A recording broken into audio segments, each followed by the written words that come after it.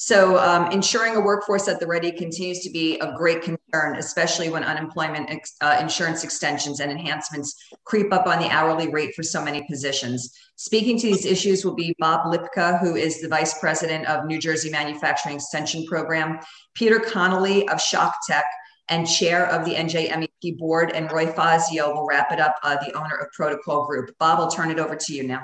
Uh, thank you for everybody for their time and the contributions. It's been interesting to gain the perspective today from all the different segments of the state and the businesses. Uh, I, I'm with the New Jersey Manufacturing Ex- Extension Program, NJMEP. Um, I lead the Workforce Development uh, Solution Services Group and Initiatives.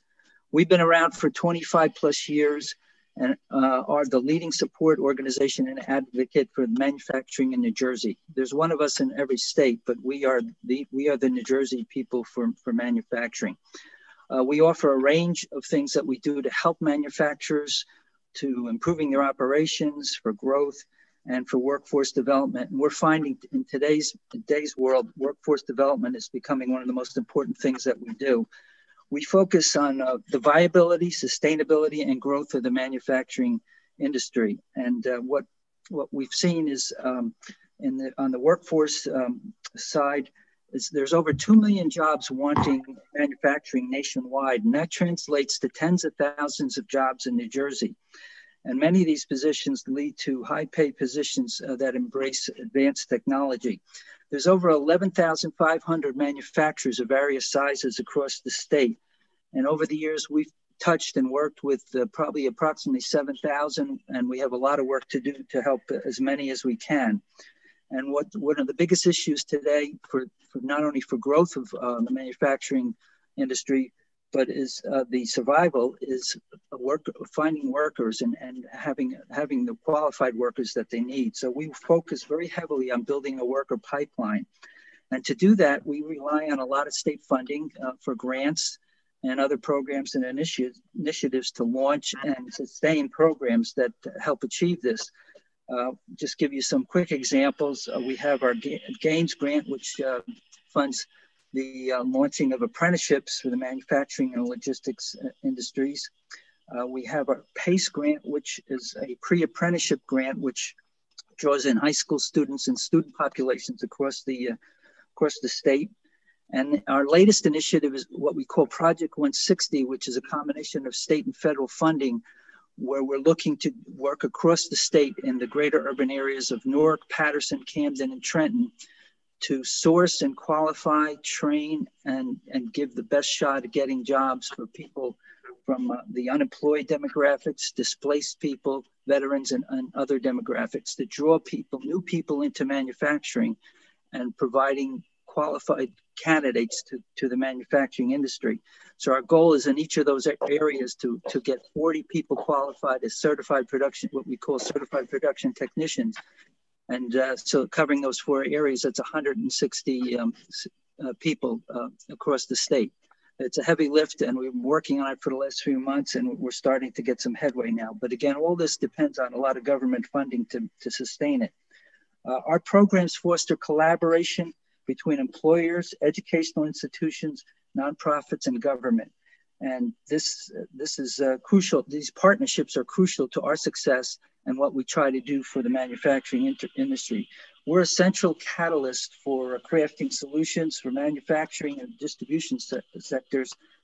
Um, and uh, the key investment uh, investment is key by all partners, but especially by government. And uh, that while they've been supportive, their their the consistency of funding is, has been a challenge to not only launch the programs but to uh, sustain them. Um, along with the funding that uh, the state provides are customized training grants. And this is this is critical, especially in manufacturing across the state. The average manufacturing company is 50 or less employees. So fu- the funding becomes critical, especially for those companies, because the, smaller and medium-sized companies don't necessarily have the funding that they need to train to, to attract the, the, new workers as well as train their existing workforce. And again, it's not just crucial to their growth, but to today to their survival. And recent funding uh, over the last couple of fiscal, fiscal years has hovered around $3 million. I know when I first got into workforce development, there was a fund of 25 to uh, $30 million, which, which was a big, big help uh, in, in funding and, and uh, helping companies. So that has dwindled. So that shortfall has had a great impact. So we can't, we can't stress enough how important the funding is to sustain industries and the investment by the state and what I've heard this morning uh, in, in, our, in our business community, especially the small business community, which sustains the economy, uh, is vital to the future of the economy. Is it's just it's just absolutely crucial. The state needs to do as much as we can, and and again, it's not only the funding but the consistency of funding, so we don't lose the the momentum we establish. So. Uh, that's our mission, and that's what we're trying to do. And I hope we can contribute to everybody's efforts to to uh, to survive this uh, this trying and challenging time. Uh, I'd like to turn it over now to Peter Conley of uh, ShockTech. Peter. How about Peter? We'll come back to you. We're going to hop to Roy and we'll try you again in a minute. Okay. Apologies that we can't get you off of mute at the moment. Roy, are you available? Yes. Good morning. Thank you. Good morning, Roy. I'm representing the, uh, the staffing and recruiting industry, and weekly in New Jersey, there are over 141,000 temporary employees that uh, workers with average annual earnings of $38,600. A lot of people do not uh, know that much about the staffing industry. Protocall Group, my company, uh, has been in staffing and recruiting for over 50 years. Uh, we are the employer of record and provide over 7,000 workers annually uh, with work to our to employers in uh, South Jersey area and the Philadelphia market. It's never been this difficult to get people to accept job positions and get and have a ready workforce. And there are really uh, two issues for our industry that I'd like to really talk about. You know, one is the unemployment incentive. You know, first we had the federal incentive of paying people $600 a week. And now we have the new uh, New Jersey state incentive that will pay uh, people $300 a, a week on un- to, to, stay on unemployment. The other uh, piece that I'd like to present is workforce development. Uh, and it really is around healthcare workers, uh, preparing them to work in physician offices and to work in environmental services areas and hospitals. Uh, for those that don't know, the staffing industry is really a bridge for many workers to move from temporary positions to full-time positions. It gives them an opportunity to really uh, work in a, in a company and, and see if they really like working in a company. And if they do a great job, they get an opportunity to be offered a full-time uh, job by, by our customers. Uh, during this COVID-19 crisis, we helped so many essential food distribution employers and healthcare employers. Um, at Protocall Group, we really moved pretty quickly to get our internal uh, recruiters set up to work at home with computers and work compliancy technology so that they were able to interview on the phone and, and, and place employees at hospitals and, and healthcare organizations and food distribution uh, companies. Um, they depended on us to recruit and place candidates to, and also to assure a, safe, we were able to help and assure a safe work environment uh, for our workers and for our customer companies. We were able to do, uh, provide uh, temperature testing uh, devices and provide medical certified medical assistance to stand at the, the entrances to our food distribution uh, warehouses and test employees before they came in every day to see if they were safe. Right now, at Protocall, we have over 500 job openings that we can't fill. Candidates are not willing to take jobs, do not have the needed training in some cases. So there are two ways that our industry get help from our, our state so we can continue to help employers in both essential and non-essential areas. Number one, the $300 unemployment money. This is a disincentive for candidates, employees to want to work. Uh, they make more money sometimes and stay at home. Of course, there's another issue too, because um, those that are in office jobs have, have, situations where they have kids working at home uh, and it's tough for them to really get into offices and be safe. The state monies, uh, I do have a recommendation that the state monies could better be used by creating a grant of giving the money to employers and employers to pay to workers an incentive of $2 to $3 more per hour to take jobs. Uh, this can be, be better controlled by employers rather than um, uh, uh, and arbitrarily giving it to employees on unemployment. Pennsylvania has done something like this through a grant, so I know it can be done, and it may be a very innovative way to do it. Uh, the second piece I want to talk about is workforce development. You know, one of the things is there's so many needs for certified medical assistants. Those are the people that you know work in physician offices that that uh, help uh, weigh patients when they come in and do the uh, take temperatures and, and get the doctor set up to, to see the patient. Uh, the challenge is that students come out of schools, they pay $150 to take the state certified testing, but they're not readily employable because um, uh, even though they pass the test, because they have never gone through an internship to work in a physician office. And physicians don't really have the time and resources really to bring in new employees and not have them never work in a physician group be able to work with patients. Some schools um, uh, do provide some internships, but I think if the state were to create a program of internships, I think it would be extremely valuable. The other piece is um, for workforce development, and I don't know if the state has considered this. There's a lot of need for environmental service workers in hospitals where they clean up the hospitals and sanitize them.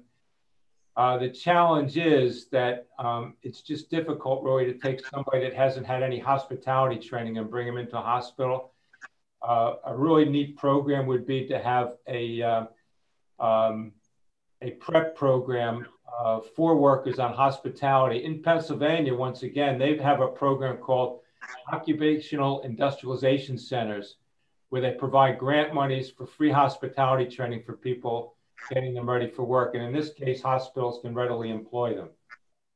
Uh, so that's kind of all I have to say. I thought I could give two different uh, recommendations that would really help our industry and help uh, people get out to work. But the biggest one is the disincentive. It's just, we've got all these job openings. We have jobs ready for employees, but uh, people say that I'm getting more un- unemployment. So why should I go back to work?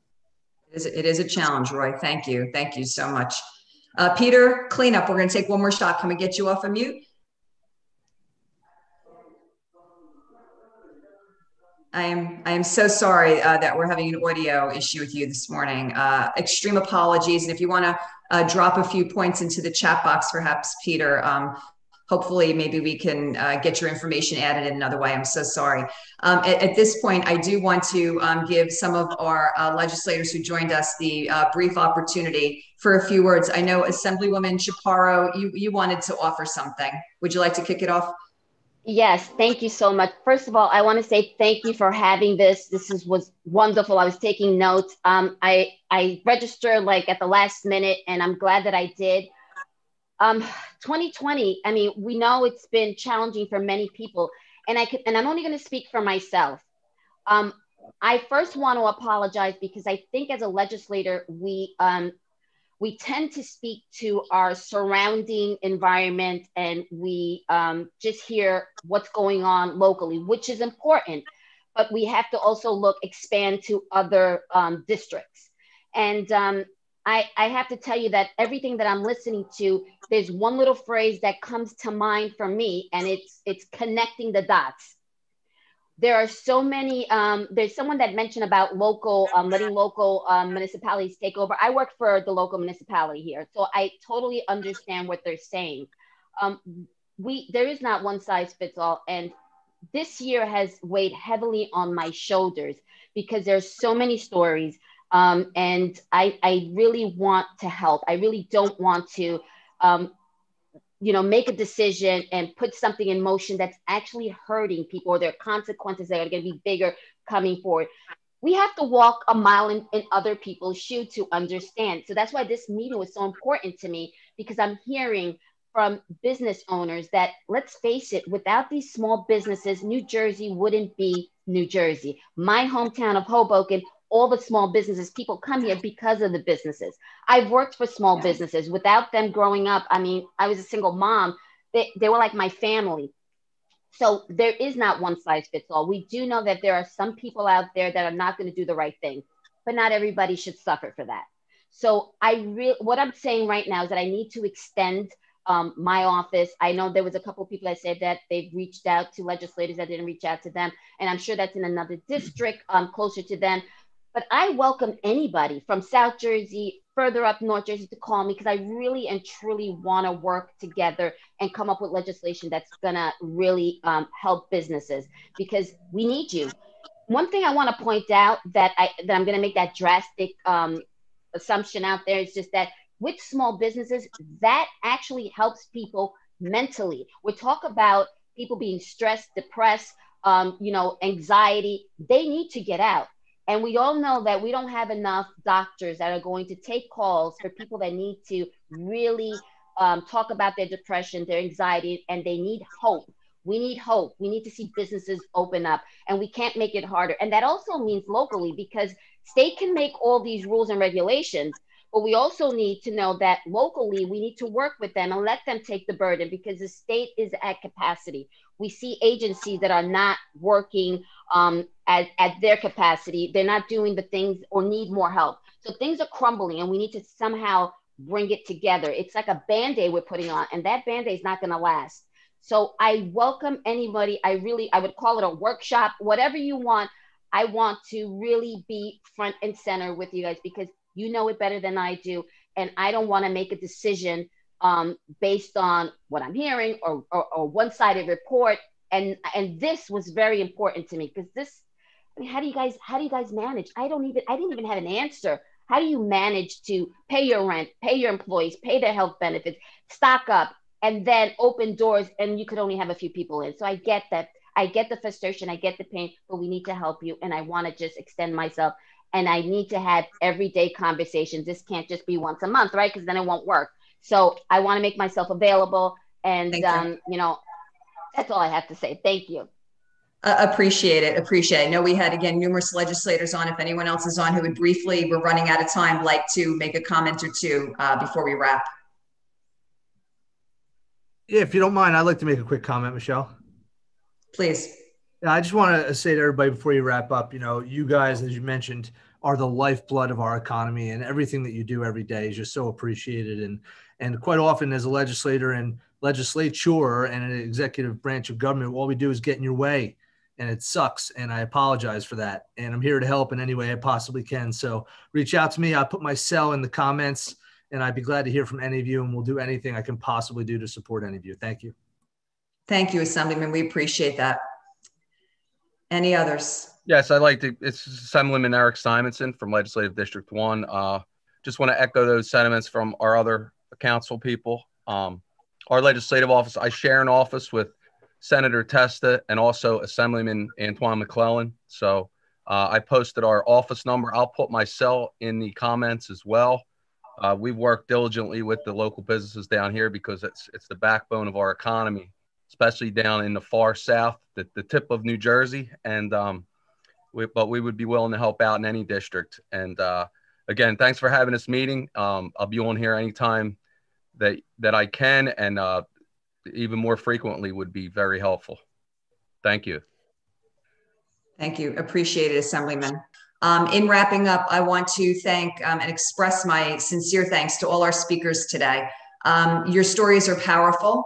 You shared a need for resources, need for access. Um, you've asked uh, our, our policymakers to do some things, and you've also asked our policymakers to not do some things. And those not do's are uh, no new regs or legislation or mandates that will continue to put further burden um, on what we heard today is already a beleaguered uh, business and nonprofit community. Uh, we also heard you ask for liability protection, which is so significantly important. Not only did you all talk today about how you're meeting the standards in your businesses to keep your workforce, your clients, your supply chain, anyone who frequents your facilities safe, but you go above and beyond. And we hear that in your passion today. And we know that you will continue to do that as we continue to advocate for increased capacity. And along with that, when you check those boxes, we have to give you the protections you need. And we have to continue to build consumer confidence. And so having those safeguards in place not only protects but builds uh, confidence as well. And I want everyone to know on behalf of the New Jersey Business Coalition and all the partners who are here today, we advocate uh, a regional approach to the continuation of how we transact business and open up our economy in a COVID world. Please visit njbia.org slash recovery. Uh, on that page is the recovery framework from the coalition. The coalition is comprised of over 100 businesses and nonprofits from all across the state who've been working tirelessly to advocate and push issues to help you or to keep back policies that will hurt you since the beginning of COVID.